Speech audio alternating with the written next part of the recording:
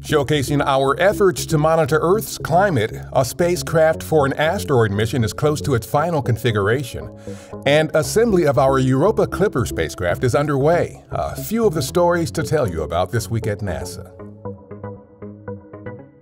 On March 8th, U.S. Special Presidential Envoy for Climate John Kerry visited our Ames Research Center in Northern California.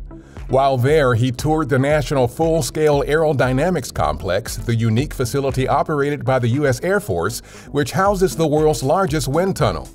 Kerry was briefed on how the facility supports development of new wind turbine technologies and other climate related innovations. He also learned how the agency uses supercomputers at Ames, remote sensing tools, and data from Earth observing aircraft and spacecraft to study and monitor our climate. Our Psyche spacecraft is a step closer to its final configuration ahead of its targeted launch this August to a metal-rich asteroid of the same name. Engineers at our Jet Propulsion Laboratory, or JPL, in Southern California recently attached the spacecraft's solar arrays. They then tested the arrays by unfolding and restowing them. After a three and a half year solar powered journey, the spacecraft will arrive at asteroid Psyche in 2026 and spend nearly two years making increasingly close orbits of the asteroid to study it. Assembly of our Europa Clipper spacecraft is also underway at JPL, with engineering components and science instruments being delivered from across the country and Europe.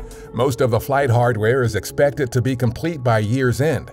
The mission is targeted for an October 2024 launch to Jupiter's moon Europa to investigate whether the icy moon with its subsurface ocean is capable of supporting life. For the first time, NASA's Neutron Star Interior Composition Explorer, or NICER instrument, mounted on the outside of the International Space Station, has observed the merging of multi-million degree X-ray spots on the surface of a magnetar, a supermagnetized stellar core no larger than a city. NICER's unique set of observations could help provide a more complete understanding of the interplay between the crust and magnetic field of these extreme objects. No humans will fly on this year's upcoming Artemis 1 mission, but your name could. Just go to nasa.gov slash we are going to add your name to a list of names stored on a flash drive that will make the historic trip around the moon and back. You will also be able to generate and download your very own boarding pass.